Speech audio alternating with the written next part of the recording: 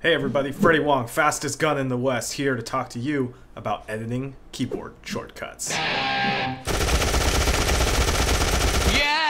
What we're going to be talking about today are the keyboard shortcuts that I personally use for Adobe Premiere. And although we're going to be speaking about sort of my set and this specific program, the principles that we're going to be talking about can apply to any editing program, provided you can edit those hotkeys. So I would recommend for you to follow along. And if you want to change it up or make slight variations, by all means go for it. What's important is that what you come up with makes sense to you.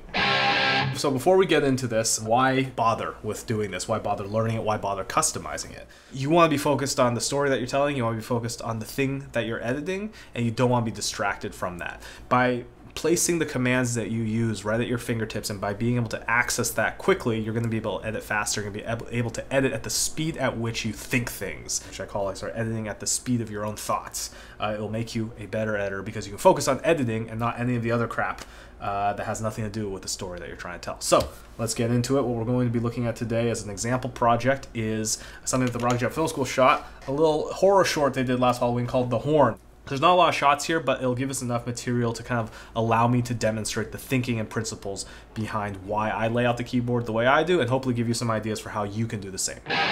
First things first, when we talk about keyboard shortcuts, we can really kind of break down our commands into three separate categories, which is navigation, how you move around on your on your timeline, commands, uh, the actual things that you do to the footage, and then fine tuning, which is after you get the rough stuff in, massaging in your edits.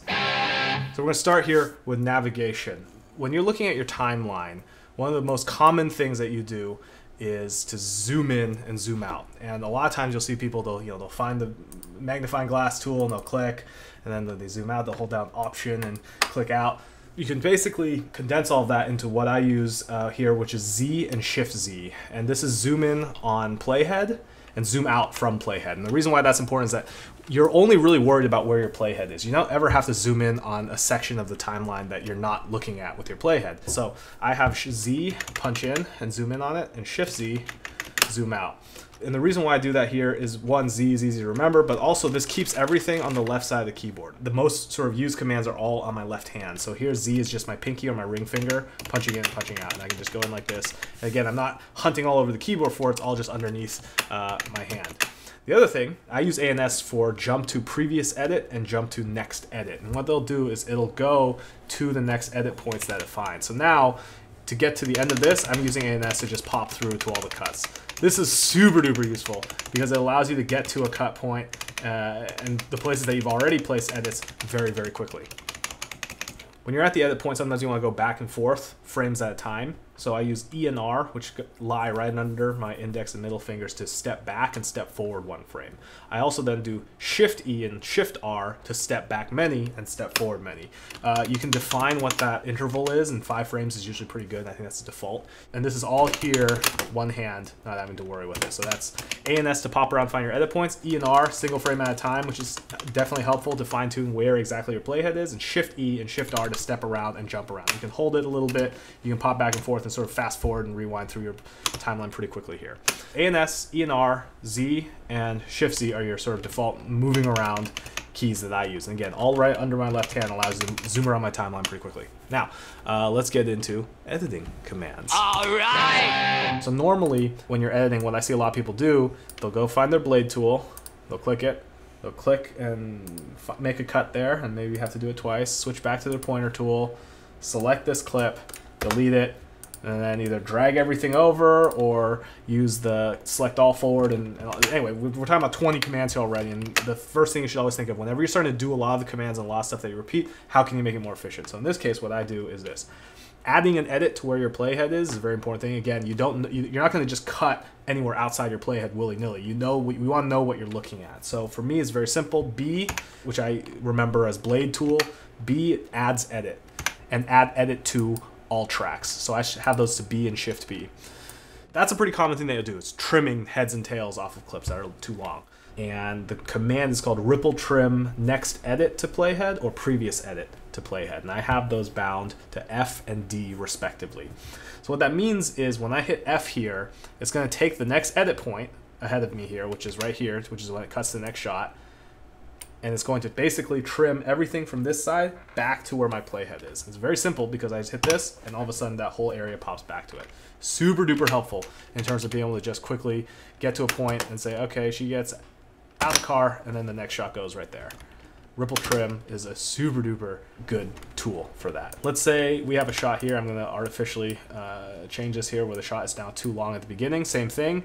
Okay, I have her here getting out of the door and stepping out.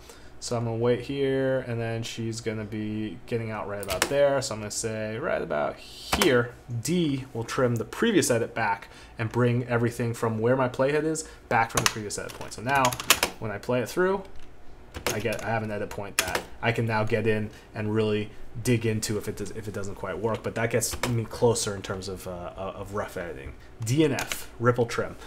So a lot of times for me, when I when I start out with uh, with a project and I want to just start roughing stuff in, I'll take a clip that I like, I'll give an in and out point to it, and then I'll use these are these are Avid commands actually V and Shift V. V inserts the clip into the timeline, and Shift V overwrites it. So again, using that, I can kind of just very, I mean, I'm just kind of doing it willy-nilly here, but you can just sort of very roughly be like, okay, it cuts to that, and then cut to, cut to this, and then put that in. And then that's a very quick way of populating the timeline, and then that'll allow you then to come back in and fine tune where those edits are. So a lot of times you will need to use the mouse in terms of navigating and moving stuff around, and what I've done is G uh, which is again right under my index finger here, which I'll do for my selection tool and allows me to click and select things and double click and get into the effects and change up things or whatever I need to do with the mouse. Uh, a lot of times you want to select everything in front of your playhead or everything in front of where you're clicking. And what I do for that is actually bind Shift G to select track forward. That's going to allow you to select everything so if you have multiple audio tracks, you can just select everything, drag it around, clear out some space for the stuff you need to do. And then that way, when you're done with it, you hit G again, you're back to the arrow tool. Look out!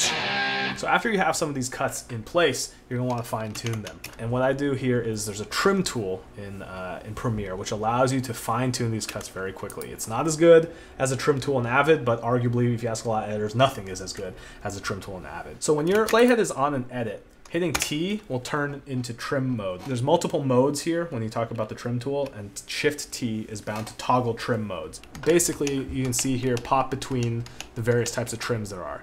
So I have Q and W bound to trim backward and trim forward, and that's specifically for when you're in the trim tool mode.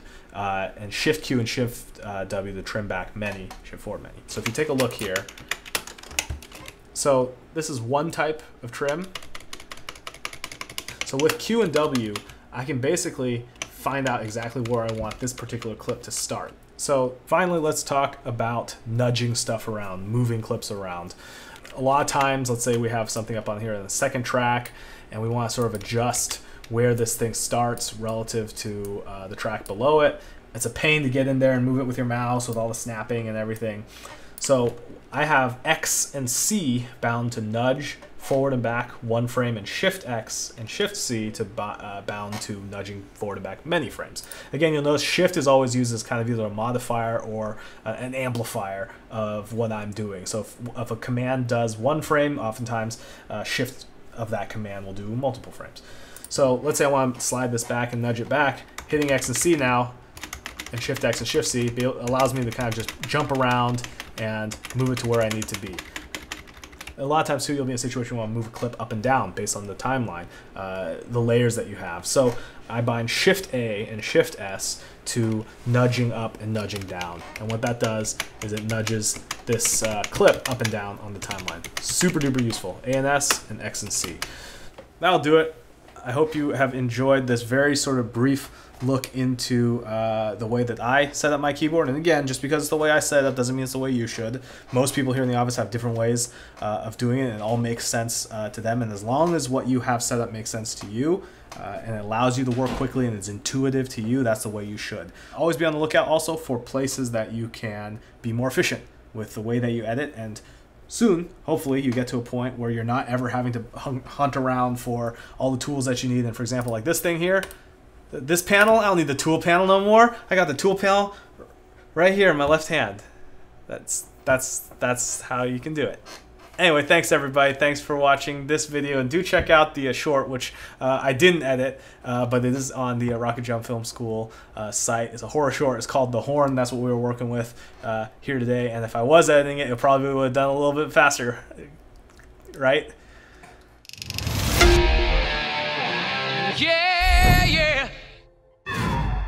So we know that was a lot of information, so we've written it all out for you right here. Click this link to download the overview of Freddie's keys to help clear up any questions you may have. And if you still don't know how to edit, don't worry. We'll go through the various editing tools in greater detail in a later video. Lastly, if you use Premiere, we have Freddie's keyboard shortcuts for you to download and install directly. Right there.